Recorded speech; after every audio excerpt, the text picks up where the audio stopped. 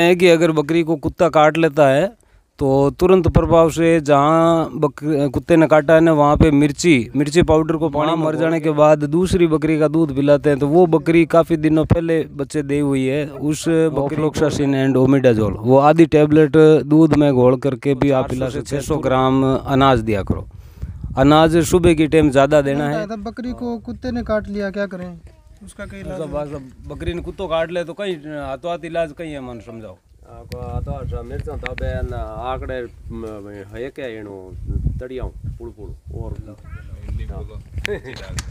बाबा जी कह रहे हैं कि अगर बकरी को कुत्ता काट लेता है तो तुरंत प्रभाव से जहाँ कुत्ते ने काटा है ना वहाँ पे मिर्ची मिर्ची पाउडर को पानी में घोल के और वो पेस्ट बना के लगा दो और या सूखी मिर्ची भी लगा सकते हो। उससे क्या है कि कुत्ते का जो पॉइजन होता है, वो थोड़ा कम हो जाता है कीटाणु खत्म हो जाते हैं। और दूसरी बात, जो एक, हमारे यहाँ राजस्थान में एक आक करके एक पेड़ होता है, पौधा होता है, उनकी लकड़ी गर्म करके उनसे दाग दो। तो वो घाव भी जल्दी सूख जाता है, और घाव गिरने में आसानी रहती है। और एक फिर है कि पंद्रह दिन के बच्चे की माँ मर गई, ऊपर का दूध पिलाने से उसको दस्त लग गए। भाई उसकी माँ मर गई और फिर दूसरी बकरी को दूध पिलाया तो उसको दस्त लग गया। उसको क्या इलाज में पानी मिला के पावो सा पानी मिला पावो बिना बकरी बच्चा ने दूध सूट नहीं हुआ। दूध पिलाओ उसमें पानी हाँ मिलाओ। दूध में ज़्यादा मतलब फैट ही फैट ही जन बिन सूट नहीं हुआ। जन दस्त चालू हो गई। बात दस्त चालू हो गई जन बंच गया या नहीं खत्म हो जाता। छोटे बच्चे को माँ का दूध जो होता है वो तो कोई नुकसान करता नहीं। लेकिन माँ मर जाने के बाद दूसरी बकरी का दूध पिलाते हैं तो वो बकरी काफ़ी दिनों पहले बच्चे दे हुई है। उस बकरी को डाइट वाइट देने की वजह से उसमें थोड़ी आ, मतलब फेट की मात्रा ज़्यादा होती है और कैल्शियम की कमी होती है। वो दूध जब पेट में जाता है तो उनको दस्त लगने के चांस रहते हैं। इनके लिए एक टेरामाइसिन करके भी आती है, जिसको मेडिसन नाम है उसका ऑक्सी टेट्रासाइक्लिन वो एक एम एल ऑक्सी टेट्रासाइक्लिन लेके उसमें चार एम एल दूध मिला दो बकरी का, वो पाँच एम एल मिला के बच्चे को पिला दो, उससे भी दस्त ठीक हो सकती है। और एक मेडिसन की दवा आती है अपन ह्यूमन मेडिकल पे, उसका नाम है ओफ्लोक्सासिन एंड ओमिडाजोल वो आधी टेबलेट दूध में घोल करके भी आप पिला सकते हैं, तुरंत प्रभाव से उनकी दस्त रुक जाएगी। एक है जैसे ईद का बकरा तैयार करा या चाहे ब्रीडर तैयार करो, उनको वज़न बढ़ाने खातर स्पेशल फ़ीड के दे। एक तो भाई नॉर्मल जैसे आप ही खिलाओ हाँ सूखो चारो वगैरह, एक स्पेशल फ़ीड हो कोई। ईद के बकरे तैयार करने के लिए कम से कम दो दांत बकरा हो, उसको खस्सी करवा दो। दो दांत से छोटा बकरा खस्सी करवाने में थोड़ी दिक्कत रहती है और वो ग्रोथ भी कम करता है।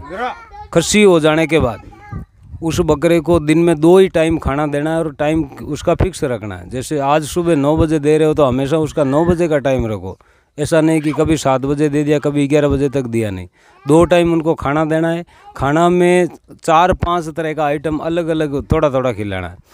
जो अपने एरिया में लोकल एरिया में जो भूसा मिल रहा है दलहन का भूसा, गंवार का ले लो, मूंग का ले लो, मूंगफली का ले लो, उड़द का, मसूर का, सोयाबीन का, जो भी अपने एरिया में मिल रहा है, उस भूसा को थोड़ा थोड़ा करके, जैसे 500 ग्राम एक टाइम का उनकी डाइट है चारे की तो पाँच आइटम सौ सौ ग्राम, चेंज कर करके खिलाओ तो वो 500 ग्राम की जगह 800 ग्राम तक चारा खा लेगा एक टाइम में, और साथ में उनको 400 से 600 ग्राम अनाज दिया करो। अनाज सुबह की टाइम ज़्यादा देना है और दोपहर की टाइम हरा चारा देना है और शाम की टाइम कम से कम अनाज देना है चारा ज़्यादा खिलाना है। और एक छोटा बच्चा हो जैसे पाँच दिन का दस दिन का वो मिट्टी खाना शुरू कर दे हैं। उनको कोई इलाज पेट में कोई प्रॉब्लम होती है पेट में कीड़े पड़ जाने की वजह से वो मिट्टी खानी शुरू कर देते हैं।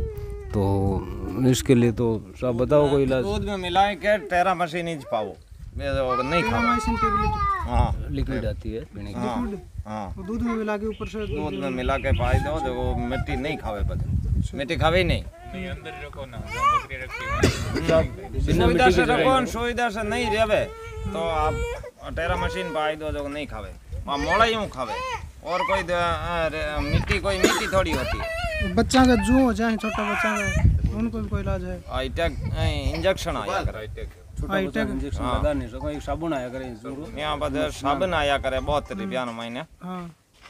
नाम से हाँ।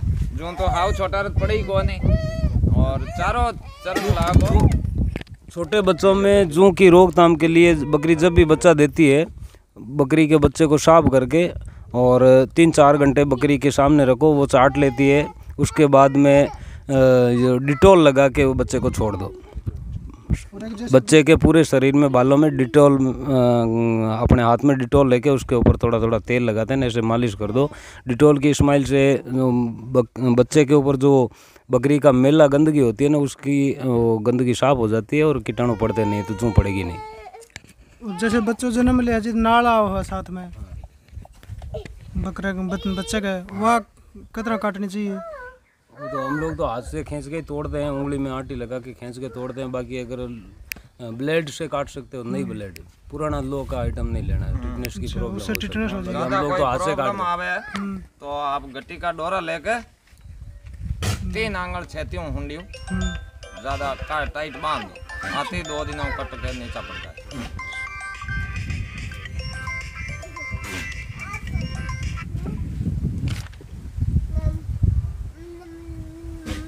हाँ बाबा।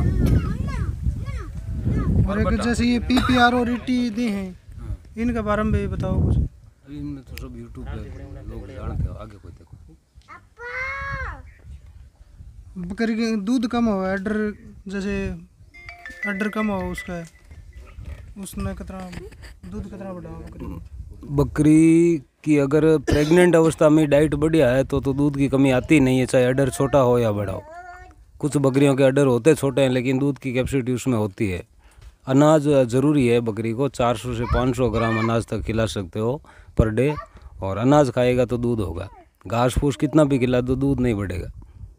गुड़ दे सकते हो अजवाइन दे सकते हो और अगर मिल रहा है तो कॉटन सीड जिसको बिनोड़ा बोलते हैं कपास बोलते हैं वो दो। तो और अनाज के बिना बकरी तो मोल लिया मन तो लारे डाइट नहीं दियोड़ी है तो दूध नहीं आवे। हाँ अपने मोल लिया या बकरी तो ला मेथी तो डिलीवरी होने के बाद देनी पड़ाने हाँ, पहले भी डिलीवरी होने के बाद पंद्रह बीस दिन बाद अच्छा छह सात दिन बाद में दे दो भले और और एक गलगोटू बीमारी हो है नमक की आयोडीन की कमी से होती है उसमें थोड़ा चारे में नमक मिला के खिलाया करो जैसे नमक को वैसे जैसे डड़ो भी सका आपने। ड- डलो भी रख सका हाँ। उसने बाकी सादो को सादो नमक है अपनों जी को खाने में काम ले वो भी अपन चारे में मिला डाल सका। वो डेली फार्म पर थोड़ा सा जैसे अपन स्वाद अनुसार अपनी रोटी में न- नमक डालते हैं ना वैसे ही चारे में थोड़ा सा डाल दिया करो। आयोडीन की कमी दूर हो जाएगी।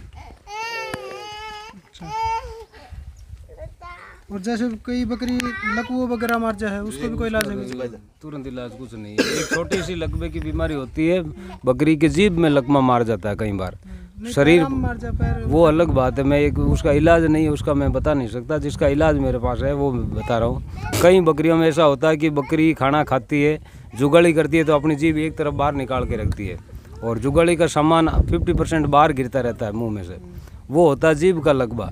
उसके लिए आप जैसे ये लक्षण आपको समझ में आवे तो लहसुन की चार पाँच कड़ी छोल के बारीक कूट के पेस्ट करके उसकी जबान के ऊपर लगा दो वो पेट में जावे या नहीं जावे कोई मतलब नहीं। जबान के ऊपर लहसुन लगने के बाद उनका जो ब्लड सर्कुलन है, जबान का वो चालू हो जाएगा और चार पाँच दिन मेहनत करोगे तो बकरी बिल्कुल ठीक हो जाएगी। ये प्रैक्टिकल अपने घर पे आजमाया हुआ है।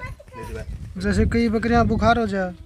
बुखार के लिए तो फिर वो टेम्परेचर चेक करो बुखार की टेबलेट दे सकते हो शुरुआती में। अगर ज़्यादा है तो उसको इंजेक्शन लगाओ। डॉक्टर ने बोला कि इलाज वो तो अंग्रेज़ी दवाइयाँ मिल जाती है। और बकरी फार्मों में जैसे चौमासे में मच्छर हो जाए ज़्यादा? उनको कोई इलाज करे? मच्छर तो होते हैं धुआँ करो सुबह शाम मच्छर माखी हो जाए। धुआँ करो और कोई इलाज नहीं है। बाकी अगर हम उसका पूरा इलाज करेंगे तो बकरी की कीमत के बराबर उसका इलाज में लग जाएँगे। फिर बकरी पालन ऐसे ही फैल होता है। गाड़ी तो है साठ हज़ार की सत्तर हज़ार का इंजन डलवा दिया ऊपर। महँगी पड़ जाती है।